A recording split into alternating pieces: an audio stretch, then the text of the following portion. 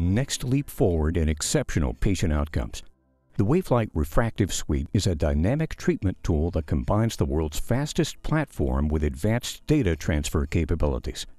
Through the use of cutting edge technology, the Wavelight Refractive Suite combines speed with customized capabilities to deliver accurate, patient specific outcomes. So, we heard the technical aspects and now directly into clinical action.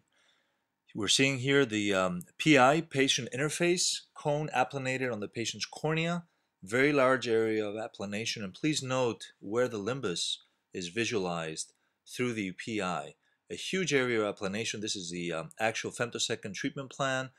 Um, we're going to see an 8.5 millimeter diameter flap for myopic LASIK. First, the vent chimney through the limbus. Please note the remarkable speed of this femtosecond laser, under 10 seconds for a complete flap. a perfect flap as you can see here. And please note the 8.5 millimeter flap in conjunction to the rest of the cornea, uh, showing you how large of an area is being applanated uh, a clear advantage to, in hyperopic cases. We're going directly into the excimer laser now. Uh, you can see the aiming beams, uh, the red aiming beams. Um, this is a unedited as far as the um, uh, femtosecond and excimer laser procedures.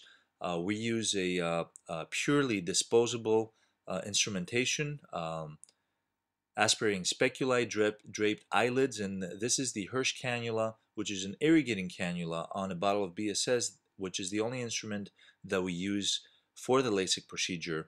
Uh, we're using the Hirsch cannula here to prepare the flap edge. Uh, please note how nicely the flap uh, uh dissects and um, we will then reflect the flap onto itself in a taco fashion and then uh, go in with a um, Weck-Cel sponge and um, homogenize the surface hydration to avoid any irregularities in the ablation.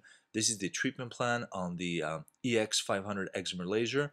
And again, this treatment plan is placed onto the excimer laser through the network connectivity through directly through the Pentacam diagnostic. We're going to see here a um, uh, six and a half diopter myopic correction. The laser is being focused. The tracker is being activated. This is a 1050 hertz tracker. And uh, this is the excimer laser in action. We're going to break at 50% of the treatment to, uh, again, uh, equalize the hydration um, on the um, stromal bed.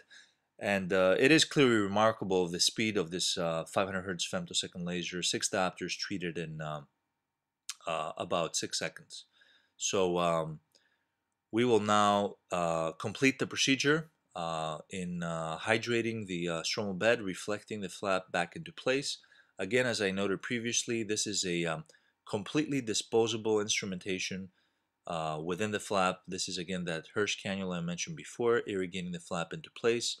Um, uh, we try and avoid using uh, sharp instruments um, and thus avoid epithelial sloughing um, during the procedure. Again, copious irrigation here. Um, I, as I noted previously, we use aspirating speculi, so all the irrigating material is being uh, removed from the ocular surface. No other manipulation of the flap we will put a drop of Pred Forte, which uh, is of milky consistence. It's a suspension, and it will delineate the edges of the flap to assure correct position.